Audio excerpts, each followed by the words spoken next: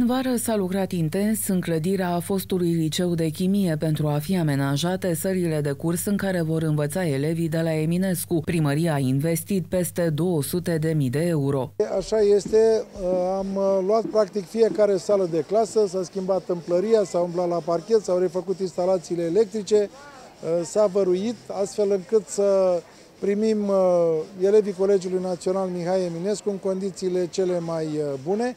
În această săptămână se va asfalta și terenul de sport, urmând ca peste iarnă să refacem și uh, sala acoperită, sala uh, sporturilor, ca să spunem așa, din uh, acest liceu. Pentru doi ani, Colegiul Național Mihai Eminescu se va simți, elevii și profesorii se vor simți bine aici.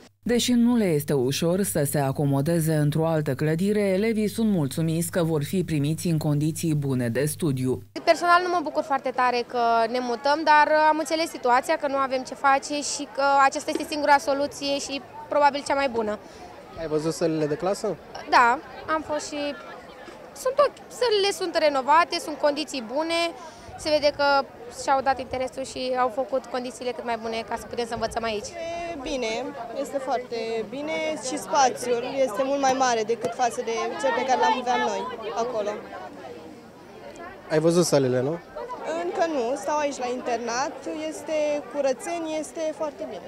Sălile de clasă au fost primele pe lista priorităților. Zilele acestea se fac pregătiri pentru amenajarea birourilor. Aici va fi cabinetul directorului, încă se lucrează. Nu e prea mic?